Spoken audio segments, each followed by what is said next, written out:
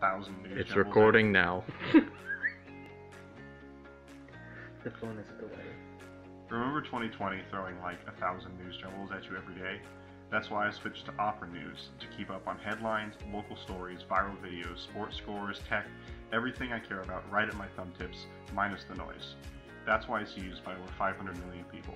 Start newsing better today with Opera News.